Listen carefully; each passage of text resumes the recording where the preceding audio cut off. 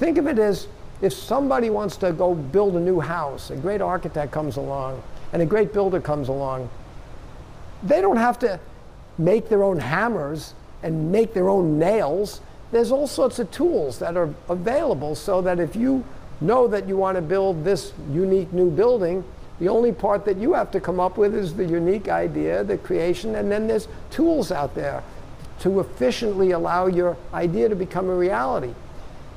Today, if a research institution, if a medical school uh, wants to work on the next generation of some kind of diabetes care, and to do it, they need high quality cells of some kind that will produce this variation or that variation of, for instance, of, of insulin, they're all sitting there with pipettes and, and, and, and hoods, essentially manufacturing their own tools before they can do their research with that product.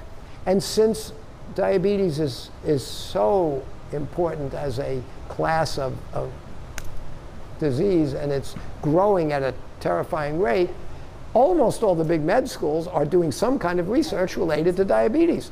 So we said, why don't we bring to one place the ability to manufacture enough quantity of guaranteed high quality standardized cells and give them to all these universities it would be like again telling every builder out there you don't have to make your own nails and you don't have to make your own hammers and your own tools. You can get all of them from us. Now go out and build your particular version of, of, of future house. So ARMI as one of its very first successes has now brought together the resources and the capability to demonstrate that we can manufacture high quantity, high quality cell lines and then start giving them to our 190 members and even besides those members, we can make these tools available so that the research will happen more quickly, more cost effectively, to get us to a place where, for instance, you'll be able to make a whole pancreas or some version of a pancreas that you can put into a patient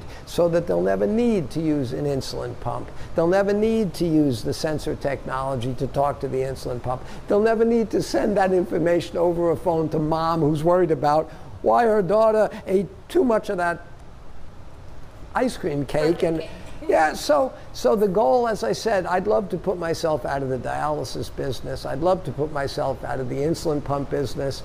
I would rather these people have a cure than a chronic treatment. I've never met a patient that can't wait for the next dialysis treatment. I've never met a kid that can't wait to need to prick their finger and check their blood glucose or be careful about what they eat. Nobody wants that.